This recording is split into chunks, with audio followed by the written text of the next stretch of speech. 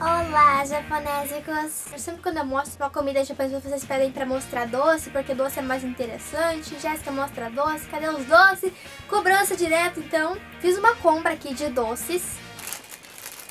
E eu trouxe aqui a notinha para depois colocar o preço certinho para vocês. Os doces que eu vou mostrar aqui são doces famosos do Japão, mas não é Pocky e Koala como vocês já conhecem. Porque Pocky e Koala você vai na Liberdade e tem para vender. Já os doces que eu vou mostrar aqui são famosos, mas não são tão conhecidos.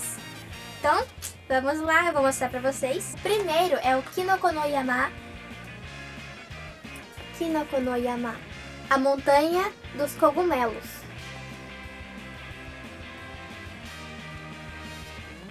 Quatrocentas e cinquenta e três calorias. Aqui tem uma fotinha de como é por dentro, olha só.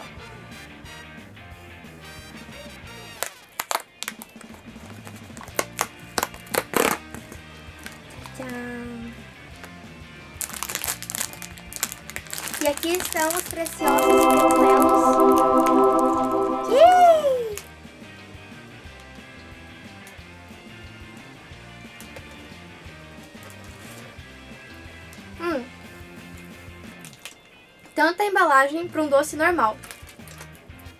Essa parte aqui é de biscoitinho e aqui é chocolate... Chocolate puro. Hum. Hum. Hum. E é claro que eu não vou comer tudo isso nesse vídeo, não aguento. O segundo é o Jagaricó, bem famoso aqui no Japão. Quem assiste animes, acho que já viu ele em algum anime. Eu comprei o sabor de Agabata, que é batatas amanteigadas.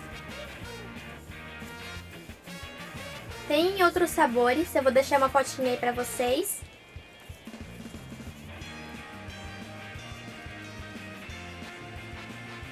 Esse aqui tem 58 gramas e 292 calorias. Batatinhas. Hum. Bem crocante. Batatas amanteigadas crocantes.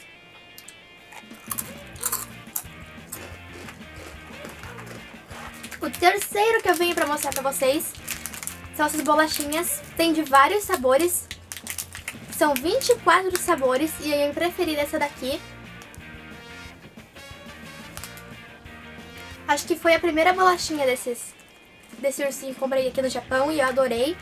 O nome é Puti Chokorango Dosha. É bem difícil de pronunciar esse nome aqui dessa bolacha. Ela é uma casquinha bem gostosinha. Parece polvilho, não é polvilho. Com recheio de chocolate.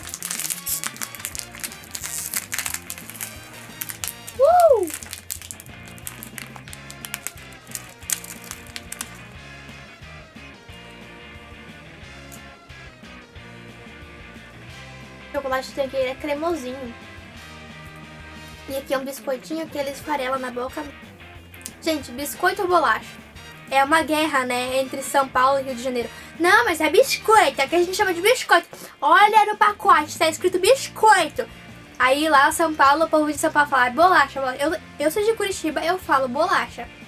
Mas sei lá, quando eu vou gravar vídeo eu fico meio indecisa. Eu falo biscoito ou eu falo bolacha? Não sei. Deixe aí nos comentários se você tem uma opinião sobre biscoito ou bolacha. O terceiro é este aqui, Hyuregumi. Não é purê, não, você, eu vejo esse daqui, eu lembro do opening de Toradora.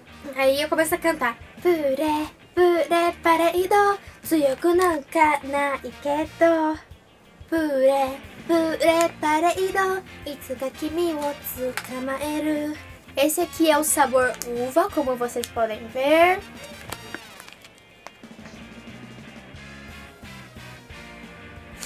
Ele tem vitamina C, aqui tem duas setinhas indicando para onde abre.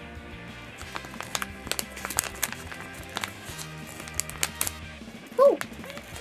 E ele é bom porque tem um, uma travinha aqui que você pode abrir e fechar depois de novo, ó. Ele fecha de novo. São gummies, gente. É gumi. Gumi de uva.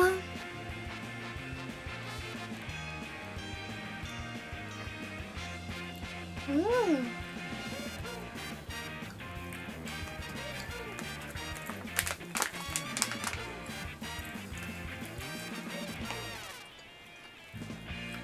Hum. Você tem que tomar cuidado porque isso aqui vicia. Isso aqui vicia. Vicia muitão. Vicia mesmo. Hum. Ele é meio azedinho, mas tem um açúcar por cima. Nossa, muito bom. Esse aqui é o chocolate Look.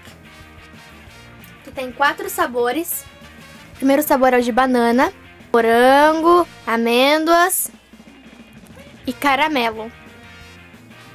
Tem 47 gramas e 271 calorias. Aí vem mais um pacotinho aqui.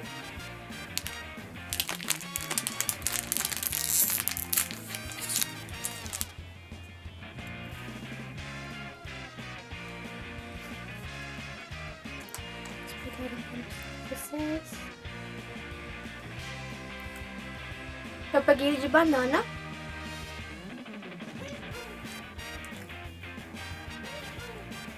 Hum, essa combinação de chocolate com banana é perfeita, a gente fala sério. Esse é de amendoim. Esse é de morango.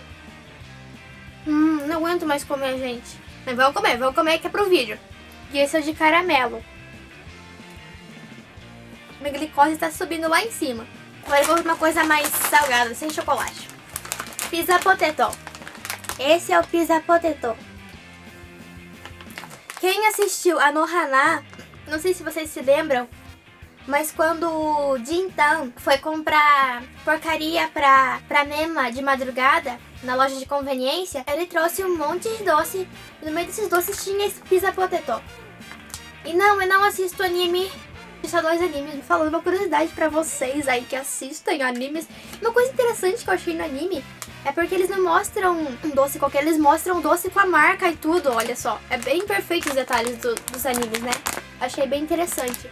Esse aqui é do Karubi.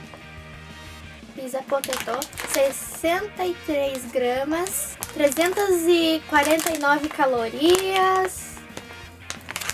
Nós vamos comer isso aqui que eu adoro. É muito bom. Hum, cheiro de pizza. Bem grossinha. Olha só. Hum. Gosto de queijo. Realmente, tem um gosto bem forte de queijo com tomate, uma coisa meio calabresa. Hum.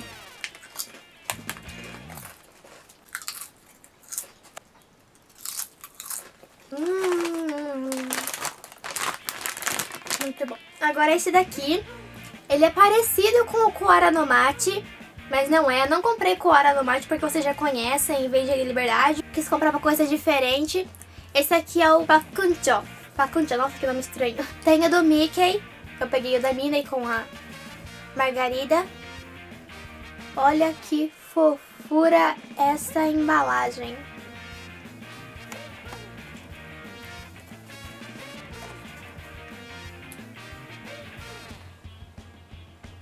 45 gramas, 228 calorias.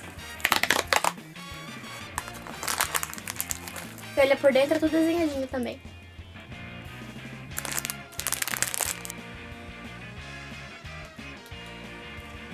Esse aqui é sabor morango.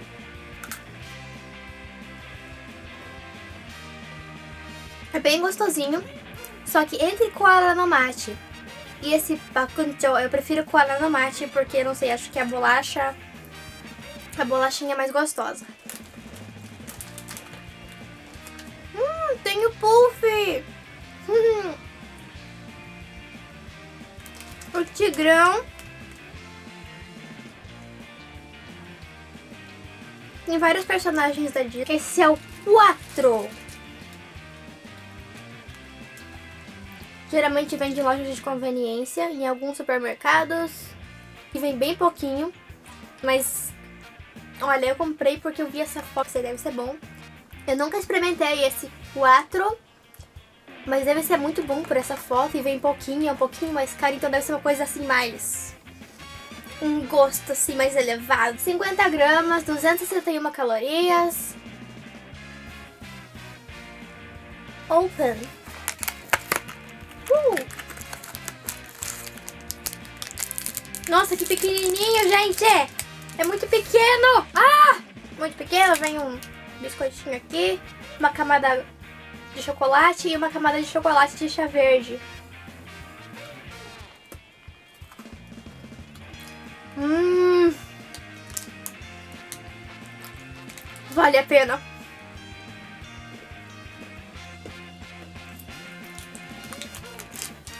Olha, o gosto do chocolate com chá verde faz uma combinação incrível. Mesmo quem não gosta de chá verde, por exemplo, eu, antes de mim fazer aquela viagem para Kyoto com a escola, eu não comia nada de chá verde, não comia nada mesmo. E agora eu amo chá verde. Eu acho que assim, é coisa de costume. Quando os brasileiros vêm pra cá e pensam, ai, chá verde deve ser gosto de capim. Gente, é coisa de costume. Com o tempo você vai gostando. Agora eu adoro chá verde. Ele é pequenininho. Vem oito. Mas vale a pena pra quem gosta de chá verde. Essa combinação é incrível. E, o gosto de chocolate mesmo forte, misturado com chá verde. Nossa, e a bolachinha crocante ali por baixo. Maravilha. Agora eu trouxe pra vocês dois Kit Kat. Eu falei que eu não ia mostrar doces que vocês já conhecem. Não sei se vocês já conhecem o Kit Kat. Enfim, aqui no Japão é mais barato que aí no Brasil, né? Eu trouxe dois sabores diferentes pra vocês. Eu acho que vocês já conhecem esse sabor aqui, né? O sabor de chá verde. E olha só que interessante, o sabor pudim. Kit Kat com sabor pudim. Então eu vou comer primeiro de chá verde, eu adoro chá verde.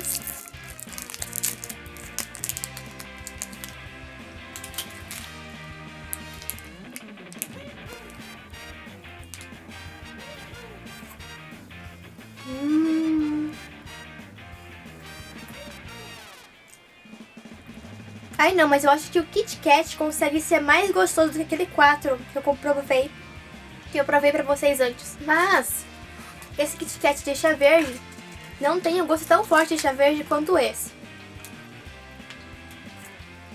Quantas calorias tem esse de... Esse de pudim, hein? Olha aqui, ó, gente. É Koku-san, tá escrito aqui. Feito aqui no Japão mesmo. Não é made in China.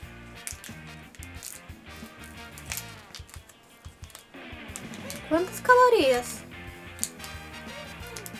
Ué, não tá escrito quantas calorias? Como assim não tá escrito quantas calorias? Eu quero saber quantas calorias tem pra mostrar pro povo. Vixe! Não tá escrito quantas calorias? Não acredito. Ah, vou comer assim mesmo.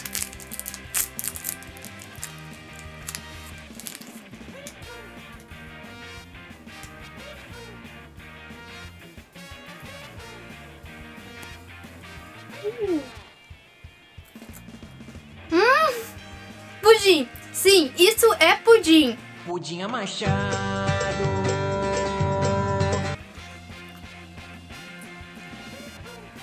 Hum. Hum. Ai, chega. Precisa de água, produção. Quero água.